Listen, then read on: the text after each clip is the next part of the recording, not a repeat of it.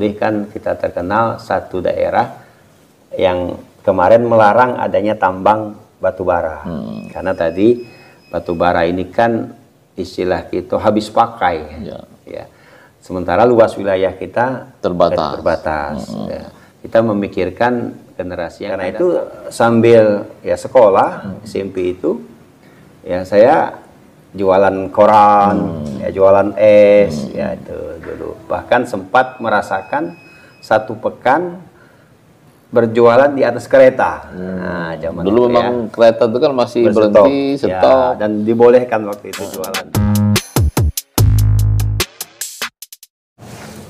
Assalamualaikum warahmatullahi wabarakatuh. Waalaikumsalam warahmatullahi wabarakatuh. Selamat malam, berjumpa kembali dengan saya Muhammad Nasir di ketikpos.com ya, ketikpos.com. Jadi kali ini kita akan membahas tentang sosok tokoh. Tokoh ini kan bisa siapa saja ya, tokoh. Bisa pejabat, bisa tokoh masyarakat, dan bisa juga tokoh besi. Toko bangunan. Toko bangunan lain di tokonya. Dengan bebasnya Pak Rahman, maka itu rehabilitasi Ya. otomatis ya. Ya. Nah, tapi eh, cepatlah ya membuat heboh lah. Ya. Ya. ya. Intrik-intrik lah banyak intrik waktu Ya, itu kan. Nah kemudian periode berikutnya nyalon lagi kita. Nah saya waktu itu setelah kalah, ya belum menang lah Ya. pilkada. Karena namanya perjuangan itu kan Ya, ada yang berhasil, Saya ada tetap yang dimajukan waktu itu sebagai calon kota ya. Tapi belum juga. Ya, Ya, karena mungkin kita belum. dampaknya ya, dampak Ya, dari ada efek domino dari tadi ya. Lalu kemudian persaingan kita ketat Hmm. ya. Nah, jadi belum. Jadi sempat 2029, 2014 Hmm. kita kosong ya. Lalu kemudian 2014, 2019 kita juga kosong Iya. ya. Nah, saya tidak ikut. Saya Hmm. ikut provinsi waktu itu. Jadi itu dari PK, PK, PKS, PKS ya? juga. Jadi dari awal sejak PK sampai sekarang tidak pernah PKS. melompat pagar ya. Pernah. Jadi, Biasanya kalau lurus, kan lompat pagar itu kan. Ya. Nah, eh, karena dua periode kosong, Mm-hmm. saya sebenarnya sudah mulai ya artinya mendewasakan diri ya. Kalau Banyak yang bawa. Ternyata di 2019 ada istilah mari bung rebut kembali. Artinya yang dua itu harus kembali. Hmm. Iya. Maka kita susun strategi termasuk sempat kosong memang waktu itu. ya dua periode. Dua periode. Jadi sejak jadi rupanya pengaruh pilkada itu kalau tidak bisa dikelola, kalau kalah Iya. bisa kalah-kalah semuanya. Nah, tapi alhamdulillah ya eh, dengan semangat Mari Bung tadi eh, di 2019 eh, 2024 kemarin kita kembali dapat dua Dua kursi. saya dan Ibu Nurisa. Kemudian ikut lagi 2024 ini, alhamdulillah PKS naik 100% dari dua menjadi empat. Lalu Sekarang empat kursi jadi. empat kursi. Jadi persentasenya kita 13,3 persen atau eh, setara dengan empat kursi. Itu cukup satu praksi ya. Kalau Cukup. Kalau untuk praksi sudah lebih, Sudah lebih. ya minimal tiga, kita sudah empat. Eh, lalu ranking, alhamdulillah di Prabu Muli ranking empat. Ya. Cuma karena jumlah kursinya hanya 30, pimpinan itu hanya sampai di ranking ketiga. Ya. Nah, itu.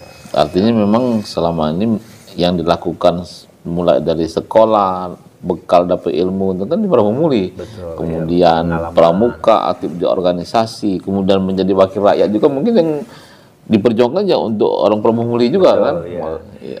Karena itu ya domisili kita di Prabu Muli ya. Cuma memang kadang-kadang berpikir satu dapil ke dapil yang lain Iya. kalau bisa kita bisa ya membantu di dapil yang lain. Akhirnya dalam pencalonan pun kita bergilir ya. ya. Di saat tahun ini misalnya dapil ini belum pernah sejak ada pemilu belum pernah dapat PKS. Ya, kita berusaha bagaimana tahun ini dapat pecah telur. Alhamdulillah ya walaupun eh, nomor terakhir di dapil ini kita dapat. Jadi periode ini juga masuk ke gedung wakil rakyat lagi. ya? Ya, sudah ditetapkan oleh KPU calon terpilih. Tinggal dilantik Ya. lagi berarti ya. Ya, tinggal nunggu. Hmm, berarti hmm, ini periode keempat berarti sebagai wakil rakyat. Tiga. Tiga ya. Tiga. Tiga. Ya. Tiga kali ya. Dan dalam keluarga juga istri juga katanya terpilih juga. Jadi saya di 2009 2004 ini karena memang konstelasi terus sumber daya jadi di, diberikan keleluasaan untuk tadi semua kader mencalon. Jadi salah satu apa ya eh, optimisme kita itu dengan mencalon itulah kita bisa men- me- apa ya berjuang Ya. ya berjuang eh, menyatakan diri membesarkan partai ya.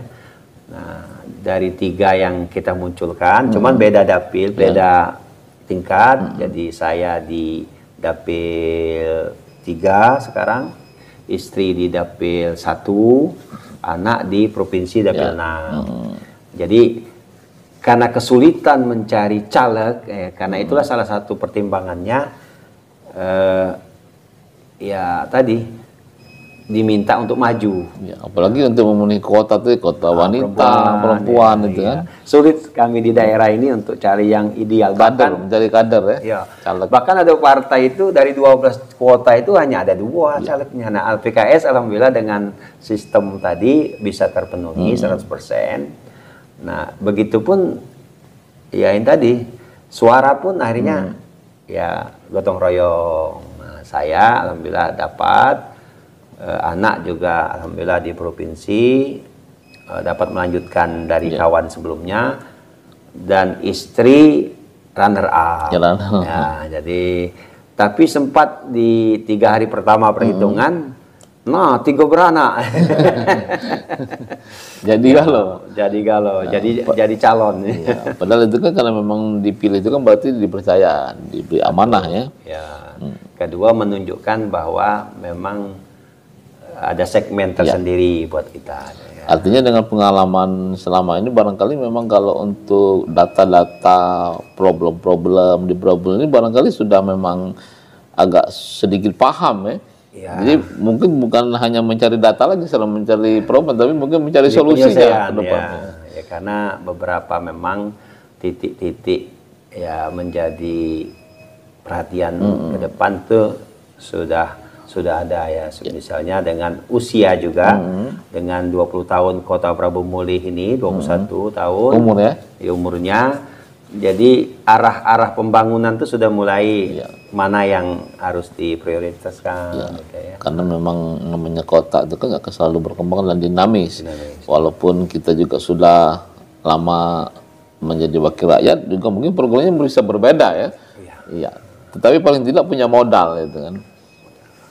Dan memang kalau dalam teori demokrasi itu kan bukan hanya memang ada di tangan legislatif, ada tres politika itu kan ada legislatif, ada eksekutif dan ada yudikatif. Dan sekarang juga orang nyebrang juga nih dari legislatif kemudian jadi eksekutif, ada lagi dari eksekutif Legislatif, jadi legislatif, ya. tinggal pilihan ya kan. Iya. Dan Kalau itu ya dimungkinkan Iya. ya karena ada cita-cita ya. Jadi kita merasa pengabdian di legislatif itu ya bisa, Ya. tapi Dan belum maksimal. ya. batas karena kewenangannya kan memang ada batasnya ya, kan. ya. Terkadang mungkin lebih luas di legislatif, tapi terkadang juga mungkin lebih luas di eksekutif.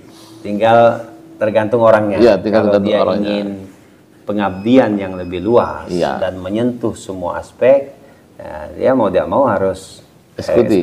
Karena ya. eksekutif kan juga, juga bisa eksekusi ya. Ya. Kalau di legislatif barangkali hanya menyarankan, mengawasi, mengontrol itu kan. dan buat dia dilengkapi dengan infrastruktur Iya. pemerintahan yang lengkap ya jadi tapi ya modal-modal pengalaman legislatif ini ya mudah-mudahan kan kalau kita ingin meluaskan pengabdian ya kata orang sudah ada basic Iya. dikit-dikit Ya. Kalau bangunan itu kan kalau sudah ada pondasinya kan akan lebih ya, kuat ya. ya.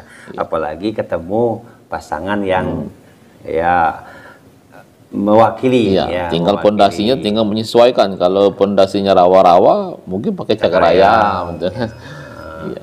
Kalau ini misalnya perairan, Iya. pakai tiang. pakai tiang atau mungkin pakai model rakit itu kan rumahnya Nah, bisa goyang-goyang rumah- gitu. rumah rakit, ya. rumah rakit Kapan dia pasang, Eh, wah, kapan Iya. dia surut.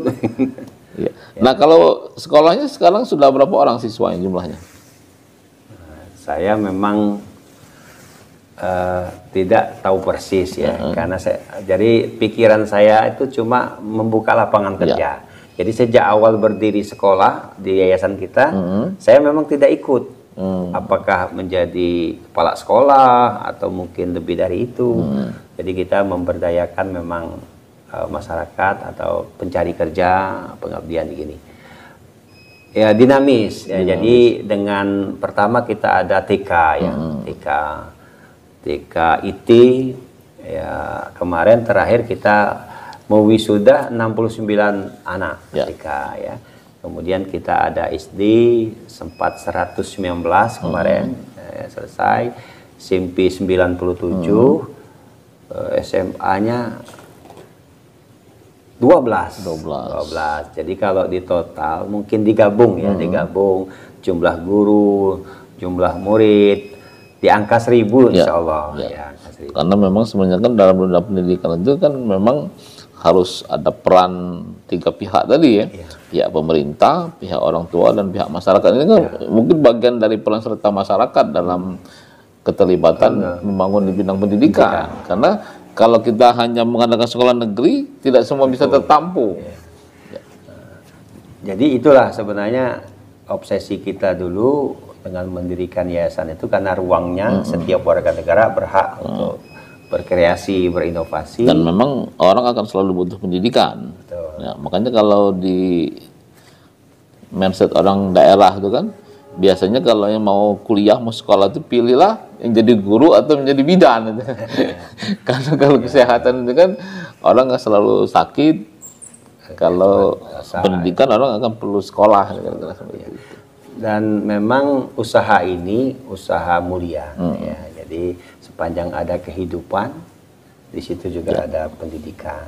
ya. Di sana ada orang berumah tangga, akan perlu pendidikan prasekolah, pendidikan dasar, pendidikan menengah dan seterusnya. Sehingga Pas di ini. sebenarnya sebagai sebuah kota ini eh, pertama angkatan kerja ya jadi pengangguran ya karena banyaknya lembaga pendidikan yang menjadi apa kebutuhan juga akan melahirkan eh, Lulusan kerja output, ya. Lulusan kerja membutuhkan penyaluran. Jadi itu satu. Yang kedua ya tingkat ekonomi. Ya karena tipologi kota kota kecil ini kan sebenarnya berangkat dari pertanian perkebunan. Eh, dengan eh, letak geografi yang terbatas ini eh, sehingga akhirnya mengembangkan bidang pertanian perkebunan tanaman keras itu ter- terbatas Terbatas. jadi harus ada usaha jasa ya. Termasuk di dalamnya melahirkan tenaga-tenaga kerja yang ya bisa diperdayakan di tempat lain. Nah, itu. Jadi itu angka angka pencari kerja tinggi di sini. Tinggi di sini, lumayan ya. Ya. Apalagi ada SMK ya. Sekarang ini ada dua SMK negeri ditambah SMK Migas. Ya. Itu kalau uh, tamat mereka rata-rata 100, berarti kalau tiga SMK 300 satu tahun. Nah, itu Sementara migas sendiri yang mau bisa menampung juga hanya bisa mem- Iya. menerima terbatas ya. terbatas. Bahkan Prabu Muli ini kan memang kawasan tambang, tapi bukan hanya apa namanya administrasi dan Iya. perkantoran saja. Sementara ininya daerah proyeknya itu di Di luar. luar, ya. di luar.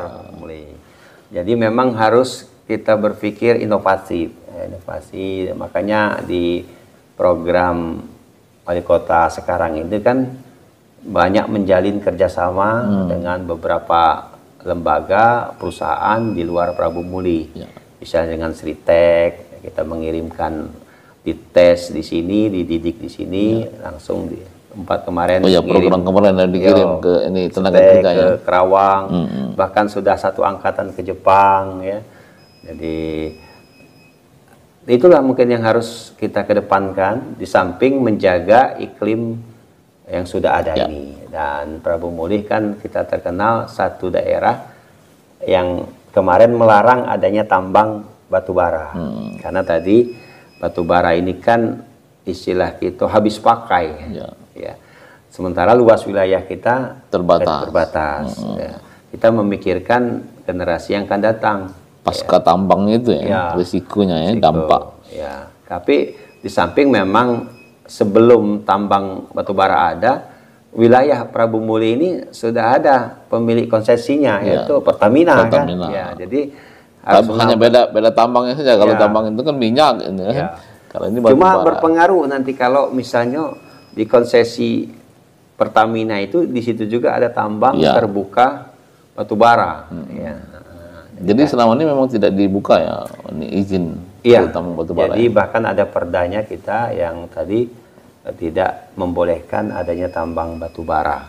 Bahkan katanya dengan kemarin juga kendaraan lewat perahu Muli pun juga dilarang itu. Jadi seiring memang dengan regulasi provinsi, regulasi pusat bahwa eh, diharapkan mereka punya infrastruktur sendiri Punya ya. jalan sendiri ya. Iya, jadi tidak memakai apalagi jalan-jalan provinsi, Iya, jalan-jalan dampaknya dan ah, risikonya. kota itu yang kekuatannya kan terbatas. Bukan zonasi yang besar itu kan. Apalagi jumlah kep- dengan kepadatan yang ya. sangat Tuh, jadi selalu kita berikan alternatif lah ya kalau ya. ada solusi-solusi ya. Iya. Nah kira-kira apa untuk mengatasi itu yang konsep yang bisa diambil kalau untuk di Prabu Mulih ini? Ya, ya tetap semangatnya kan kita ingin hidup menjadi kota yang mandiri, kota yang modern, kota yang sejahtera, tapi tidak tadi apa me- merugikan Ya, lingkungan dan masa depan. Ya. Karena itu memang tanaman-tanaman keras yang menjadi sokok guru perekonomian sebagian besar kota ini harus dipertahankan. Tapi budidaya artinya eh, pemberdayaan itu masih mungkin karena banyak kita nih eh, tanaman-tanaman keras itu tidak lagi diimbangi dengan tanaman-tanaman eh, semusim, tanaman-tanaman apa namanya cepat panen ya. Dan itu sebenarnya berpengaruh ke tingkat ekonomi. ya palawija ya. Palawija dan hortikultura. Kalau untuk kota perdagangan bisa ada ini peluang ke sana Prabu Mulih. Jadi Prabu Muli ini di samping disebut dengan kota apa gas ya, ya, kota minyak ya tambang, tapi juga terkenal dengan kota perdagangan. Nah, jadi Karena lintas ya. lalu lintas dan menjadi ya pusat grosir, Grosir. ya jadi seperti wilayah Moraini, Boyolali, Wayaoi. Nah, sehingga ke depan ini menjadi potensi peluang kalau memang di Prabu Digarap, itu ya apalagi ya kita sudah 20 tahun Ya. di sini belum ada pengembangan pasar Ya. yang representatif. Pernah dicoba cuman belum. Sepertinya pasar itu masih di tempat yang lama dulu yang ada terminal. Nah, Jadi itu kan. itulah sudah kota tapi masih gaya Eh. gaya kampung. Tapi ini butuh waktu memang Ya. dan harus ada perencanaan Hmm, matang. Yang lama tidak terusik, Ya. ya yang baru merasa terakomodir. Nah, itu harapan kita ke depan. Ya. Artinya memang harus dipertahankan yang membatasi batu bara tadi ya. Ya, Kalau salah kalau kita berpikir keputusan, harus ya. ya karena kalau yang 434 km persegi ini Luasnya itu luas kota ini bayangkan kalau dijadikan areal tambang Hmm. akan jadi apa Prabu Muli Akan banyak danau-danau ya.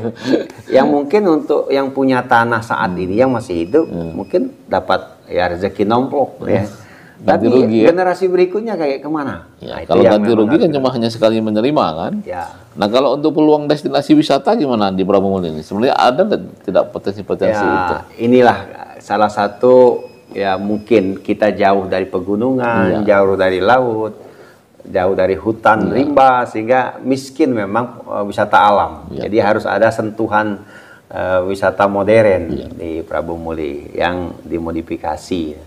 Nah, jadi memang kita haus sebenarnya ada jadi ke depan kalau memang ya pemerintahan ini ya termasuk yang harus juga dipikirkan Ya. karena masyarakat juga butuh hiburan. hiburan, refreshing ya. Jangan sampai maka hiburannya keluar ya. Keluar. Tapi kalau sebenarnya kan kalau tolak ukurnya kalau banyak orang Bromuli wisatanya ke luar negeri kan berarti kan maju berarti makmur. ya, ya, ya, ya. Jadi ya pertama kan kota ini populasinya ya pegawai. Hmm. Ya Padi Prabu Muli ini kan eh, BUMN. Jadi ya itulah mungkin yang kalau jalan-jalan ke luar negeri ya, Potensi nanasnya gimana tuh? Dulu Nanas katanya ini termasuk sejarah. Makanya Jadi- kan sejarah itu ya, Ya, karena jadi- kota nanas itu. Betul. Dan bahkan ada ikon kita, Ada tugunya tugu nanas. ya, yang tidak pernah apa masak terus dia, nah, Ya. pernah dipesak, dipetik ya kan, jadi tugu. Jadi memang ada sejarah bahwa nanas Prabu Muli itu Terkenal. terkenal. Di stasiun. Di sini dulu pusatnya, Pusatnya. itu Bungaran orang nyebut, memang manis. ya. Tapi arealnya sekarang sudah berkurang karena perkembangan penduduk, lalu kemudian tempat itu juga bukan tanaman utama. Ya. Ya, jadi dia tanaman apa sela ya, di tanah pokok. Eh, tapi tetap dipertahankan. Ya. Jadi beberapa kawasan masih menanam itu Hmm. untuk tadi di samping memotivasi eh, tetangga sebelah. Hmm. Karena Bahkan di sini sudah ada industri serat nanas. Serat nanas. Ya, jadi Cuman dari pabrik, daun. pabrik, pabrik nanas yang belum ya. Pengalengan katanya- yang belum. Karena katanya itu memang tidak cocok. Seratnya itu apa terlalu banyak serat atau kurang serat itu? Pertama eh, ini tingkat Nanas eh, air eh, apa ke apa, kandungan airnya Kandungan air tinggi. tinggi satu. Kedua terlalu manis. Terlalu kata- manis. Berarti kayak Ya. yang manis terlalu manis itu kurang bagus juga Yang berarti. ketiga mungkin investor itu akan melihat sumber anu apa pasokan. Pasukan. Ya, kalau untuk investasi pabrik kan harus Hmm. tersedia pasokan. Nah, sehingga akhirnya nanas Prabu Muli ini memang disiapkan untuk oleh-oleh, oleh untuk. Tapi pemanfaatan eh, daun nanas itu sudah sampai ya diekspor Hmm. Ya. ininya apa? Berarti eh, kan bu- nanas bukan itu. hanya buahnya ya. Ya, Dari daunnya, sekarang. daunnya.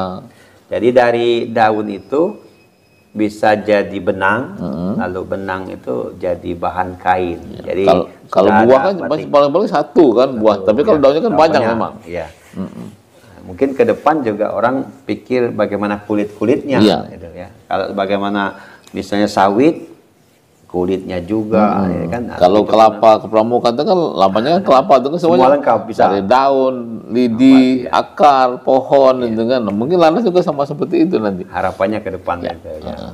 Jadi harus dibudidaya. Ya. Mungkin demikian barangkali Ya. obrolan kita tentang Kota Prabu Muli, bagaimana kondisinya dan bagaimana prospek ke depannya. Sebenarnya kan juga bergantung kepada banyak faktor ya. Ada masyarakatnya, ada legislatifnya, ada eksekutifnya, dan juga kalau tidak diikuti dengan keamanan juga pasti kan ada Jadi keterpaduan. ya Jadi keterpaduan. bagaimana bisa tumbuh. Membangun bersama lah ya. Betul. Jadi keterpaduan semua unsur yang ingin membangun Prabu Muli. Hmm. Jadi kekuatan-kekuatan itu ya harus eh, bersatu walaupun di sana sini ada kekurangan Ya. biasa, tapi intinya bagaimana Prabu Muli dari hari ke hari bisa tumbuh berkembang lebih baik. Ya. Dan potensinya memang ada SDM maupun SDA, tinggal bagaimana mengelola dan memanagenya ya. Ya, barangkali demikian obrolan kita mudah-mudahan bermanfaat dan bukan hanya bagi masyarakat Prabu Muli tapi juga bagi masyarakat Sumsel dan Indonesia barangkali. Karena kan Prabu Muli juga bagian dari Indonesia, KRI. Insyaallah. Ya. Ya, terima kasih. Ya. Semoga bermanfaat. Ya. Ya. Selamat malam. Ya. Assalamualaikum. Assalamualaikum warahmatullahi wabarakatuh.